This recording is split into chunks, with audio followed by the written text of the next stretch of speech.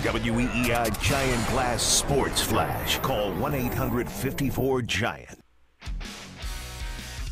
The Patriots are dealing with another off field issue. Defensive back Alfonso Dennard arrested for a second time in 15 months at about 2 a.m. this morning in Lincoln, Nebraska, under suspicion of driving under the influence. Complicating his problem, Dennard was placed on two years probation back in March for assaulting a police officer also in Nebraska.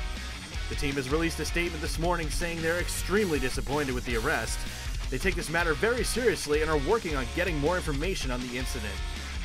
David Ortiz hit his 19th home run and drove in three as the Red Sox got an 11 4 win over the Mariners. Papi became the all time leader in hits for a designated hitter in Major League history, passing Harold Baines last night. The Sox and Mariners will close out this four game set this afternoon as Ryan Dempster gets the start for the Red Sox. Pre-game coverage starts at 2.55 across the Shaw's WEEI Red Sox radio network. This Sports Flash is brought to you by Taco Bell's new Cantina Double Steak Quesadilla.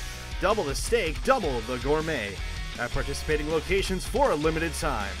If you want all your Red Sox coverage in one place, just visit weei.com slash Red Sox for team news, audio on demand, columns, blogs, stats, and more. Everything you need to know about the Sox, WEEI, it's your home for Red Sox baseball. Now back to Mutt and. I'm Bill Neville, and that's a Sports Flash.